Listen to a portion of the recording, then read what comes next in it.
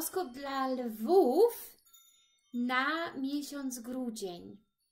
Kochane moje lwy, niestety zapomniałam powróżyć Wam w moim horoskopie na miesiąc grudzień. E, był to horoskop dla wszystkich znaków. Niestety umknęło mi naprawdę, e, by powróżyć lwom. Nie wiem, jak to się stało, ponieważ miałam listę i według listy to robiłam, no ale byłam tak widocznie zajęta myślami, tak, y, co widziałam w tych kartach lub co chciałam koniecznie powiedzieć, że no umknęło mi, także przepraszam wszystkie lwy, nie było to oczywiście z premedytacją, dlatego nagrywam Wam osobny, y, tutaj króciutki filmik tylko dla Was, kochani moi. Dziękuję, że mi żeście przypomnieli oczywiście w komentarzach. Widzicie, bardzo jest ważna ta interakcja. Y, ponieważ bym sama się nie kapnęła, być może, y, ponieważ już myślałam o innych filmikach dalej, żeby nagrywać. Więc kochani, dziękuję Wam. Widzicie, jak ważne są Wasze tutaj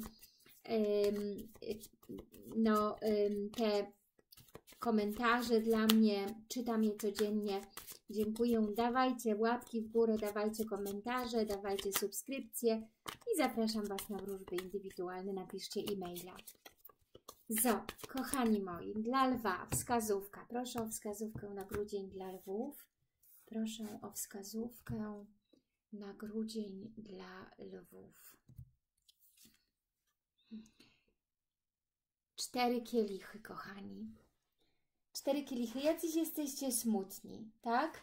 Smutni, rozczarowani, melancholijni, sentymentalni, apatia, samotność być może Was ogarnia, y, być może macie ciężki jakiś wybór lub po stracie kogoś lub czegoś jesteście tutaj bardzo przygnieceni, smutni, rozżaleni, więc kochani, za bardzo jesteście pasywni. Uwaga, by nie wpaść tutaj w taką totalną pasywność w grudniu. Należy nie tylko wspominać to, co się zakończyło, to, co było, ale również spojrzeć na to, co przynosi los, y, co podsuwa Wam los pod nos, kochani. Tutaj los podsuwa Wam jeden kielich, czyli jakąś szansę, tak? coś nowego pod nos, ale Wy nie widzicie w tej apatii. I ważne jest dla Was, kochane lwy, by wstać, by zrobić ruch, by być aktywnym, znowu wejść w swoją aktywną energię, tak?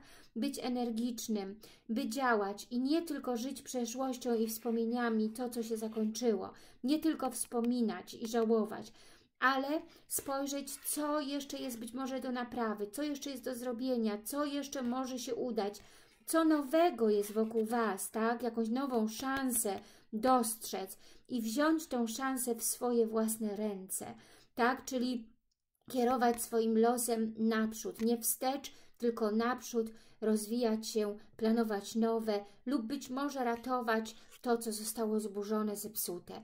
Więc wejdźcie w swoją znowu energię, aktywność, kochani. Wejdźcie znowu w działanie, żeby nie przegapić tutaj, nie przesiedzieć, y, nie y, przesmucić się całym grudniu, w grudniu, tak? Tylko w całym miesiącu, chciałam powiedzieć, grudniu, tylko po prostu wstańcie i róbcie y, jeszcze do końca tego roku coś aktywnie, energicznie i zawalczcie o swoje cele, o swoje jakieś różne projekty, czy związek, czy partnera, y, czy małżeństwo. Dziękuję lwom serdecznie, pozdrawiam Was kochane lwy i do usłyszenia już wkrótce.